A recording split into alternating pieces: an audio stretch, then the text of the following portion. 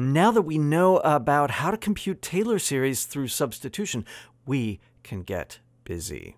Let's turn our attention to the hyperbolic trig functions. Do you remember those guys back from chapter 1?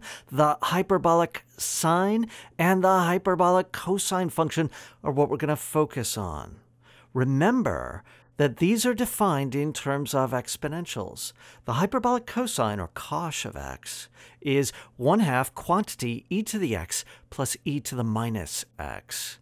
The hyperbolic sine, or sinh, is given by 1 half e to the x minus e to the minus x. Now, it's kind of a mystery at first. Why are these called hyperbolic sine and hyperbolic cosine? These don't look anything like those trig functions. Well, now that we've got the definitions, let's think in terms of Taylor series. How hard is this going to be? Oh, this is not going to be so hard. These exponentials are so nice to work with. We can just directly substitute into the exponential series and do a little bit of algebra. So, to proceed, let's take those definitions for cosh and sinh and rewrite them a little bit. I'm going to stack the e to the x above and the e to the minus x below, and then I'm going to replace them with the exponential series. e to the x, we know that's 1 plus x plus x squared over 2, etc., etc. What's e to the minus x? When we substitute minus x into those, all of the odd degree terms pick up a minus sign. And now we need to add all these guys together. What happens when we do so? Well, arranging the terms by degree and lining things up, we notice some patterns.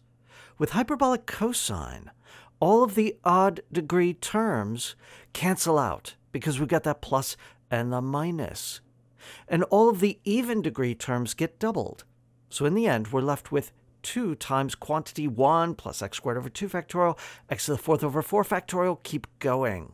And what we notice is that we are left with all of the even degree terms of the exponential series. What happens with hyperbolic sine?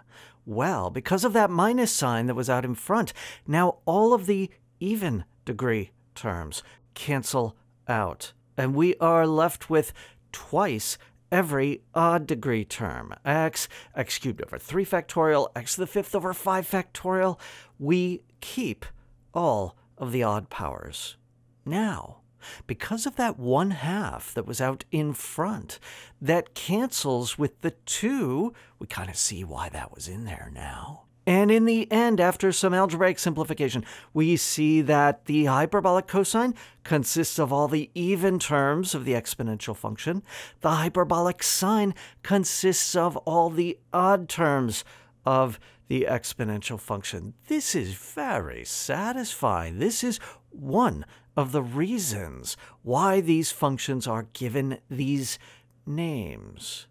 Now, we can convert these series to summation notation very easily using the same sorts of conventions we used for cosine and sine. The hyperbolic cosine is the sum. k goes from 0 to infinity, x to the 2k divided by quantity 2k factorial. Hyperbolic sine is the sum. k goes from 0 to infinity, x to the 2k plus 1 divided by quantity 2k plus 1 factorial. This is very nice. There are no more annoying minus 1 to the k things going on that we have to worry about. Hyperbolic sine, hyperbolic cosine, ah, these are your friends. You are going to want to remember these series, these formulae. We're going to see these again.